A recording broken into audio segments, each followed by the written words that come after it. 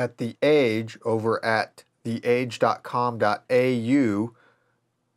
Google case pits right to be forgotten versus free speech.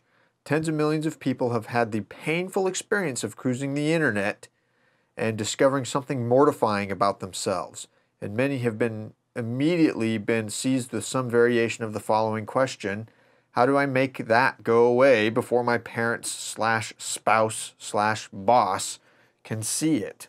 For Europeans, the answers became clearer this week when the continent's highest court ruled that individuals have a right to demand that Google search links to unflattering material be deleted. A step toward what privacy advocates there have christened the right to be forgotten.